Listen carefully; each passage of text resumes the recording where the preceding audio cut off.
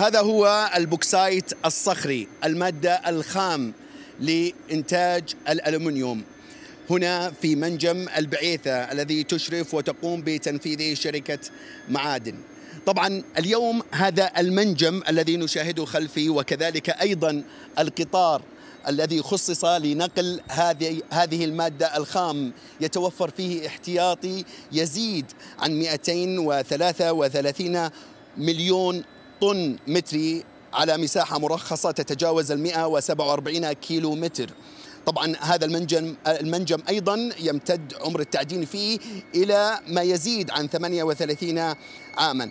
اليوم السعودية من خلال هذا المنجم استطاعت كما ذكرت إنتاج ما يزيد عن أربعة ملايين طن سنويا من مادة البوكسايت الخام التي نشاهدها الآن والتي تحملها هذه العربات وهو قطار خصص كما ذكرت عليه أو آه، يحتوي على 130 آه، عربة، كل عربة تستطيع أن حمل أكثر من 100 طن، أي يعني نحن نتحدث عن عشرة آلاف طن يوميا يتم نقلها من عبر هذا القطار. طبعا هناك مراحل وهناك أيضا عدة قطارات تنقل مادة هذه الخام. لا ننسى أيضا أن هناك ريبوت يعمل على التأكد وكذلك أيضا حمل المادة الزائدة من مادة البوكسايت عند زيادة وزن هذا البوكسايت عن العربة المحمولة. أي أن هذا الريبوت الذي يعمل تقنيا وأيضا يتوفر به تقنيا في هذا المنجم خصص من أجل نقل هذه المادة الخام التي تذهب إلى رأس الخير ليتم بعد ذلك عملية التصنيع ويخرج بمنتجه النهائي وهو الألمنيوم الذي يتم الاستفادة منه محليا وكذلك يصدر من إلى الخارج بشكل كبير في صناعات متعددة. هذا المعدن اليوم الذي يأتي ثانيا بعد الحديد ويأتي أيضا في مقدمة المعادن. اليوم السعودية تهتم بهذا المعدن.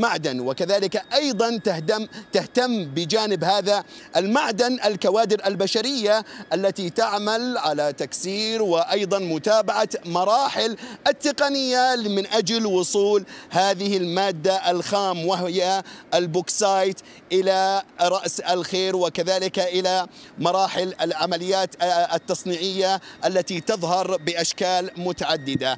طبعا هناك في الجهة الأخرى وهي صور خاصة الآن تبثها العربية لمنطقة المساندة وكذلك منطقة الأعمال داخل هذا المنجم. هذا المنجم الذي كما ذكرنا أنه يتجاوز الاحتياطي فيه أكثر من 233 مليون طن يحتاج إلى كوادر بشرية.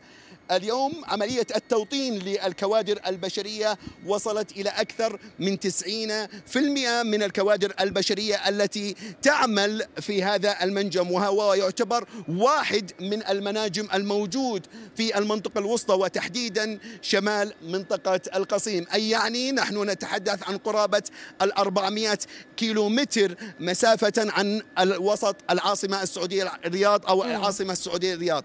طبعا هذه المسافة أو هذا القطار سوف يعبر الآن أو هو الآن يقوم بالسير في خطواته النهائية. ونشاهده الآن هو يتحرك باتجاه رأس الخير ليتم نقل هذه المادة ومادة البوكسايت بعد أن تم تكسيرها آه، بشكلها النهائي إلى رأس الخير في المنطقة الصناعية هناك. ليتم أيضا واضح. دخولها في مراحلها الأخيرة لتخرج كمادة ألمنيوم. لمتابعة المزيد من الأخبار والبرامج والقصص الإنسانية والوثائقيات والتقارير الإخبارية. لا تنسوا الاشتراك في قناتنا على يوتيوب الضغط على زر الإعجاب وتفعيل جرس التنبيهات.